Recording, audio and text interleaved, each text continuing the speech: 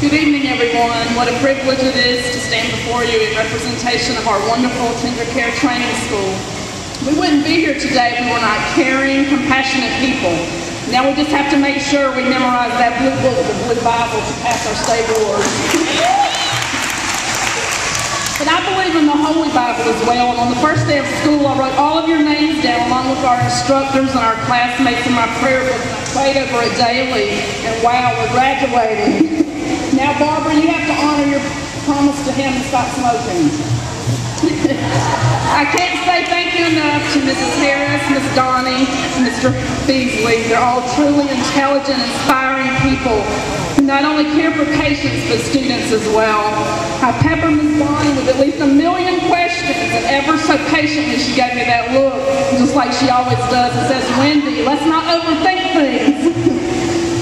But thanks to all of our guests who made our night special with your presence. Thanks to Mom for writing the check.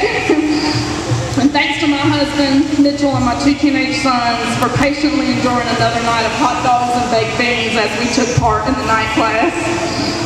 Thanks to all my classmates. I've had an awesome experience meeting you from all different walks of life.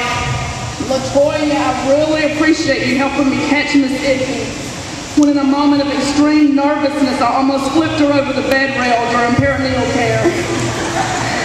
For those of you who don't know, Miss Iffy is our lab practice mannequin. I have the book smarts, I just need a little help in the common sense department. Thank you, Samantha and Sarah. I can't tell you how many times they whispered, Wendy, let the bed rail down. or dirty, dirty, meaning wash your hands just one more time. We've all worked extremely hard and now have visions of our future and amazing times ahead of us. If I could share a few inspirational comments, they would be to always have compassion for other people. In 1 Peter 3.8, Jesus said, Be of one mind, having compassion one of another, love and sympathy and courtesy. We never know what someone's going through. We never know what cross they might have to bear. We're all in this together.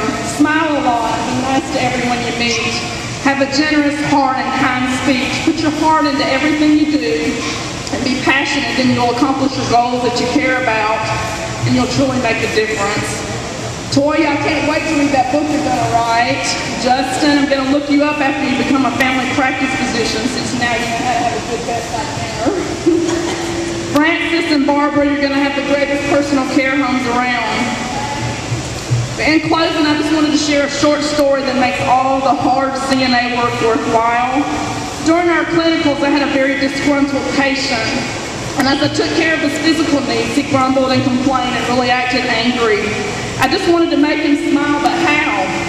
Just a few doors down, a new patient was admitted, and he was a very happy-go-lucky guy who went around out of boredom helping me do my job. I listened to their war stories as well as my not so happy patient's war story. It was amazing. They seemed to be telling the same exact story. They each told of a war buddy they traveled around the world with and whose families were friends. And they both at different times told me how they each had had the same first name, which was Samuel. They described each other perfectly, and I thought, well, what, is it possible? I just couldn't believe it. So later, the Happy Samuel's wife visited, and I told her their stories and my thoughts, and she confirmed what I suspected. I had the awesome privilege of reuniting the two lifetime buddies and their family. Sad Samuel was smiling from ear to ear and was so excited, and Happy Samuel and his wife and I were all crying. It was such a God moment, a very moving experience.